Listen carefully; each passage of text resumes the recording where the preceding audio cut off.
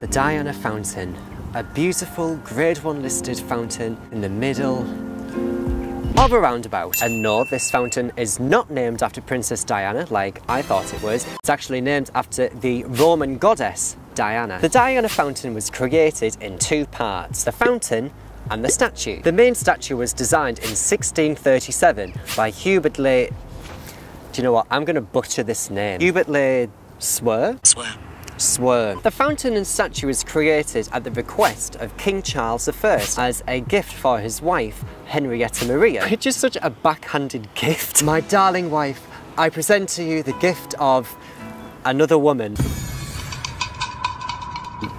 so how much did it cost to make? Well, Hubert sent an invoice to King Charles I for a total of £200. Bloody hell, just 200 quid. Well, at least in 1637 money. Converting £200 in 1637 to today's money, that would roughly translate to about £24,000. The fountain was moved from Charles and Henrietta's residence to the Privy Gardens of Hampton Court in 1656. And then in 1713, the fountain and statue was moved again to its current location where it's remained ever since. So the statue and fountain were restored in 2009 by the Bushy Park Restoration Project. And for the first time ever, we were able to get an exact measurement of the height and weight of the statue. And so that's a brief recap of the Diana Fountain.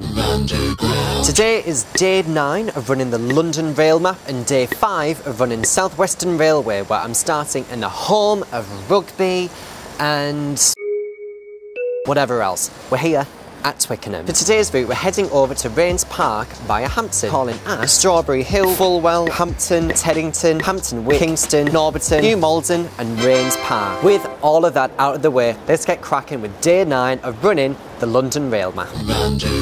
So after recently leaving Twickenham station, I passed a place called the Pope's Grotto. Just like that, 1.8 kilometres, we're finally here at Strawberry Hill. 3.21 kilometres we're here at Fulwell Station, originally known as Fulwell and Hampton Hill. So it's just ticked over five kilometres, we're about a quarter of the way in now. But I will say so far this area has felt very affluent. Hampton just feels like a like a countryside town, I feel. Because when you have the gorgeous bushy park that's just nearby, which we're going to go through in a moment. I don't know what it is, it's especially around this time of year, there's just something that feels so magic.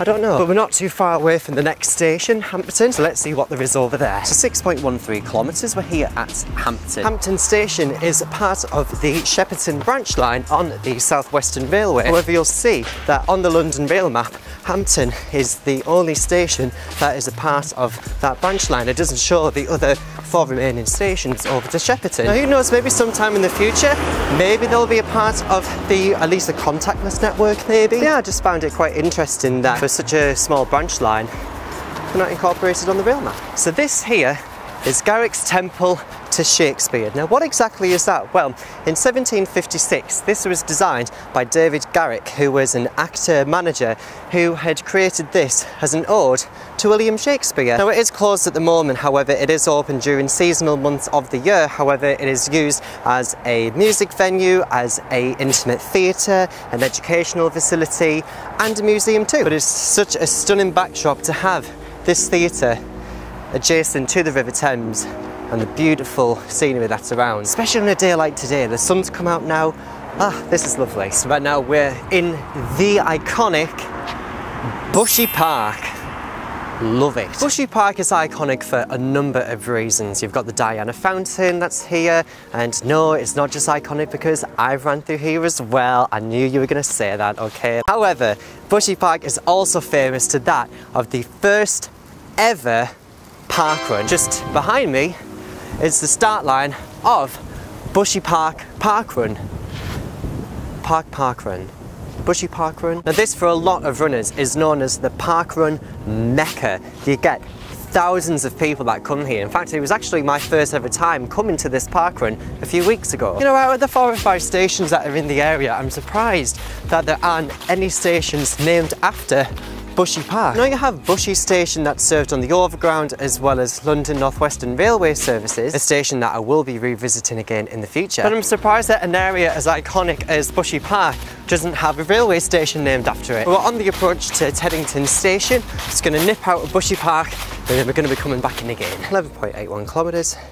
Teddington Station. So at this point now we've still got Hampton Wick, Kingston, Norbiton, New Malden, or Malden, I don't know how you say it, and Raynes Park remaining. Now we're to go back into Bushy Park. Cutting through Bushy Park, there is a very famous walkway called Cobbler's Walk. Previously, Bushy Park had this footpath closed and that for the local people, they had to go the long way around on the road. Now, Timothy Bennett was a shoemaker in Hampton and he actually raised the issue of not having a footpath with the park ranger of Bushy Park. However, the ranger of Bushy Park at the time had rejected the claim. The ranger didn't want to be told what to do by a shoemaker. I will not be told what to do by a filthy cobbler. And so over time there was mounting pressure from the local people and so the ranger eventually accepted defeat and had this path opened through Bushy Park. Now two years later after the footpath was opened, Timothy Bennett had unfortunately passed away. And so at Bushy Park at the Hampton Wick entrance there is a memorial dedicated to